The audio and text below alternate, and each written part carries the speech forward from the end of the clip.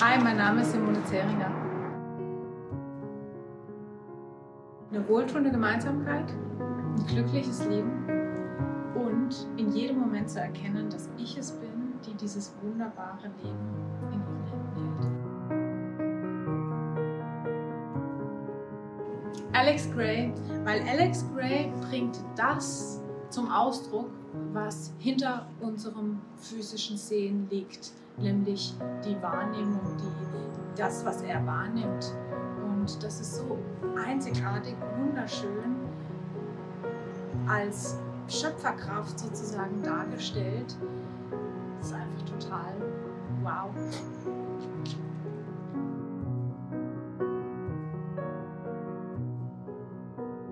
Ja, all diejenigen, die ihr inneres Licht entdeckt haben und das potenzieren, ähm, die Elementarwesen, die Naturgeister, die Engelwesen, Erzengelwesen.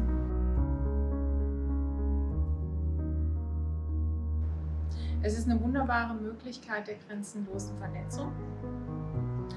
Und wenn man eben sein inneres Licht, das mit einer inneren Führung dann kann das ein Segen sein für alle Beteiligten, wie auch für einen